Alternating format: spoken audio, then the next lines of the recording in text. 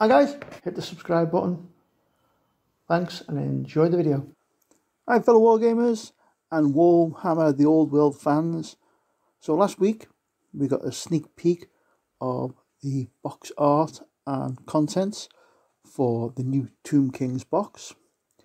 And from the contents of that, I thought I would have a go at predicting what will be in. A lot of these miniatures we've already seen because on the Warhammer community they have posted pictures of the items. So this is my predicted contents for Warhammer the Old World Bretonnia box.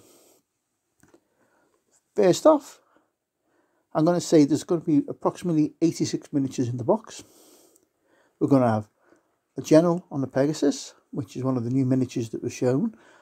Uh, one handmaiden of the lady, 32 men at arms, 32 peasant bowmen. Because the reason why I'm saying 32 is because on the article that was put out in the Warhammer community, it says that these will be coming in boxes of 32 miniatures. So I've put down 32 men at arms and 32 peasant bowmen. 10 knights on foot because there's 10 in the picture. So I'm assuming they're going to come in a box of 10. 6 knights of the realm. Again, on the picture there's showing 6. So I'm assuming it's going to be 6 in the box but they can also be built as knights errant according to the Warhammer community and then a box of three Pegasus knights and also there's a new trebuchet out which is a Forge World resin now I've added that to the list of miniatures however being Forge World it might not be in the box so it'll be 86 miniatures with the trebuchet but without the treasure trebuchet it will be 85 miniatures. So that's my prediction for what's going to be in the Bretonnia box. This is speculation from what's listed on the back of the Tomb Kings box and it's given me an idea for what could be in the Bretonnia box. However, I know you all want to know what the price is going to be, but you and I know that Games Workshop have a habit of releasing boxes uh, roughly the same cost um, take the combat patrols for example, they're all roughly 85, well I think they're 95 pound each now, recommended retail price.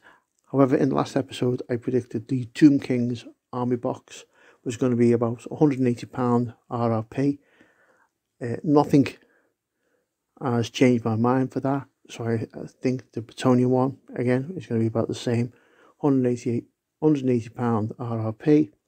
That will be for 85, 86 miniatures, the rulebook, templates and range rulers, a selection of d6 dice, and also on the back of the Tomb Kings uh, box, it shows what looked like a booklet, and what I think that could be is it's a mini army book for the dice uh, for that faction.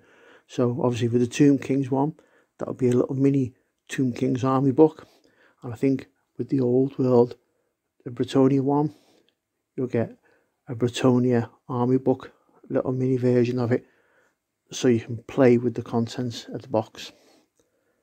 Okay guys, so when we get more solid information about what's going to be in the Bretonnia box, what the prices are going to be, we'll, we'll come back and we'll revisit my predictions and see how close I was or even how far away I was.